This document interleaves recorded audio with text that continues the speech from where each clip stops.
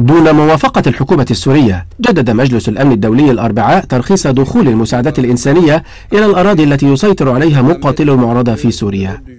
ويجيز القرار الذي اعتمده المجلس بالإجماع إدخال شحنات مساعدات عبر معبرين في العراق والأردن ومعبرين في تركيا يؤديان إلى أراضٍ يسيطر عليها تنظيم الدولة الإسلامية.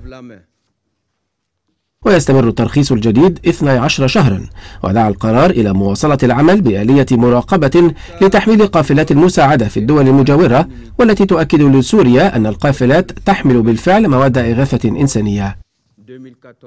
ودان المجلس في القرار معوقات توصيل المساعدات الإنسانية عبر الحدود والخطوط الأمامية. فيما عبرت دول المجلس وعددها 15 عن قلقها البالغ من وقوع مناطق في سوريا تحت سيطرة تنظيم الدولة الإسلامية وجبهة النصرة. وقال المجلس إنه يؤيد خطط عمل وسيط الأمم المتحدة لسوريا ستافان دي مستورا لتطبيق وقف لإطلاق النار في بعض محافظات سوريا. ومن المحتمل أن تكون مدينة حلب نقطة الانطلاق لهذه الخطة. وتقول الأمم المتحدة إن أكثر من 12 مليون سوري يحتاجون الآن للمساعدات الإنسانية.